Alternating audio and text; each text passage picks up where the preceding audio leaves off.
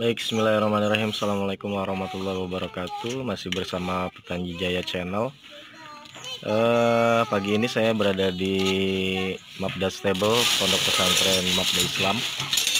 Kita akan share bagaimana cara memasang uh, tapal kuda Di kaki kuda ya. Ini masih dengan Mang Sarip yang kemarin memberikan tips untuk menjaga kuku kuda atau merawat kuku kuda.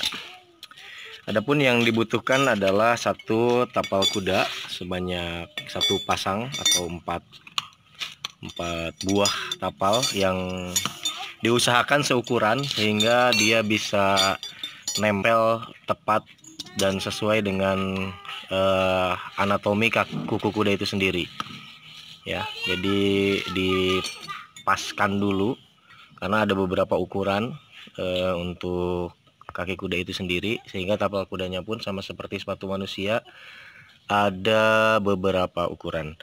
Selain tapal kuda yang dibutuhkan adalah uh, horses shoe nails seperti ini. Khusus ya bentuknya seperti ini. Ya.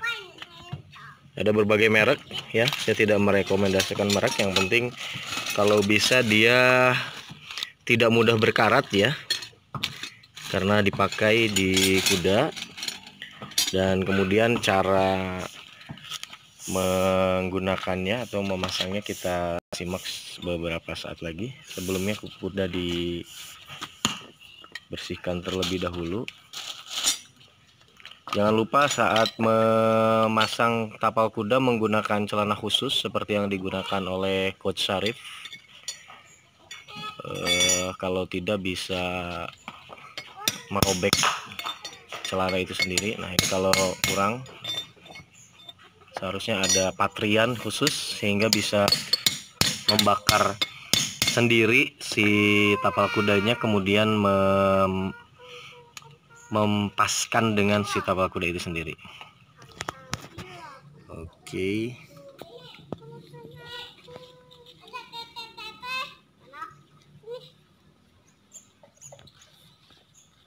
Jika sudah dipastikan pas bisa mulai di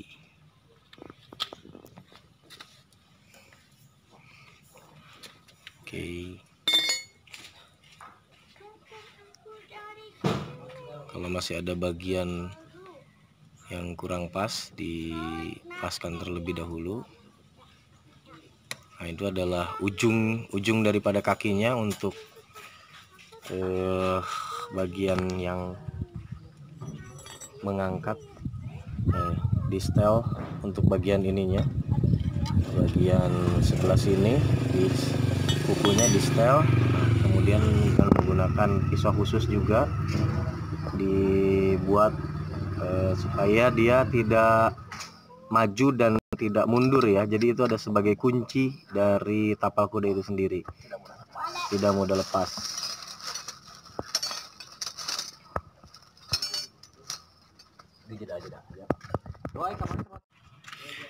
Baik sebelumnya menggunakan eh, penghalus apa ini namanya emang? Kikir. Kikir ya, kikir eh, sepatu kuda atau kikir kaki kuku kuda supaya dia halus dan pas dibersihkan dulu dengan menggunakan kikir ini. Jadi ada beberapa alat selain daripada palu kemudian ada gegep kemudian ada juga pisau. Yang akan dipasangkan adalah eh, tapal kuda dan juga sepatu kuda. Baik sambil menunggu eh, coach Syarif memasangkan sepatu kuda kita lihat dulu di sini ada beberapa eh, ukuran ya bisa dilihat ini ada ukuran kecil kemudian ini ada ukuran besar ya. Jadi memang tidak semua itu sama gitu ya ada ukurannya. Dan ketika kita beli yang eh, satu jenis misalkan itu belum tentu pas di kaki kuda itu sendiri maka harus di style ulang ya. Makanya memang dibutuhkan satu eh, tungku pembakaran khusus untuk melemahkan dan kemudian menyetel ya. Alat patri atau biasa digunakan oleh eh, pengrajin besi ya. Nah, bisa dilihat di sini dibersihkan dulu menggunakan eh, apa namanya kikir. Kemudian kalau sudah pas harus betul-betul dipastikan pas. Karena kasihan kalau kudanya eh, sebagaimana kita pakai sepatu itu pasti nggak akan enak kalau kita pakai sepatu yang kurang pas. Entah itu kebesaran entah itu kekecilan dan lain sebagainya. Nah ada 4 8 lubang paku di sini. Ya ada 8 lubang paku yang kesemuanya harus diisi ya Mang ya? Ya harus diisi semua. Dan harus hati-hati sekali karena posisinya harus keluar eh, kuku. Kalau ke dalam dia nanti kena e, dagingnya dan itu sangat berbahaya sekali buat kuda itu sendiri. Makanya harus hati-hati harus konsentrasi dalam keadaan tenang. Jangan e, ceroboh karena akan melukai kuda itu sendiri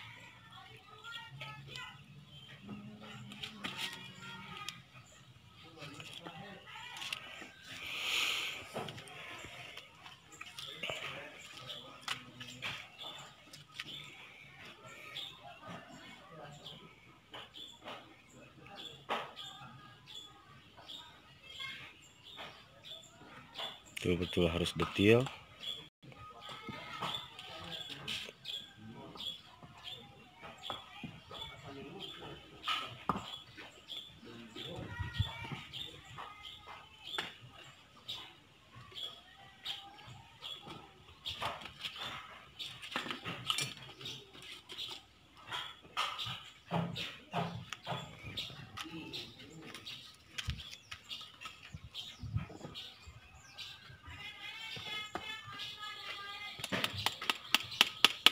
kuda tidak akan merasa sakit kalau memang eh, memasang paku kudanya, paku tapalnya dengan baik.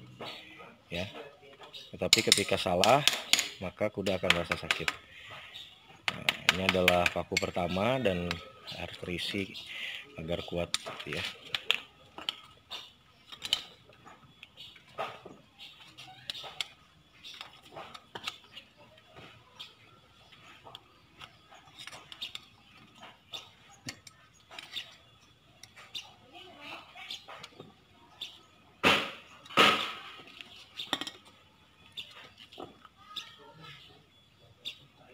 Mau masang sepatu kuda seperti ini memang sebaiknya dilakukan sendiri tidak oleh dua orang.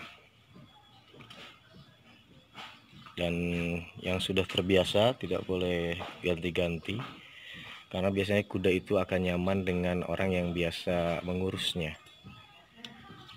Ya ini adalah eh, paku kedua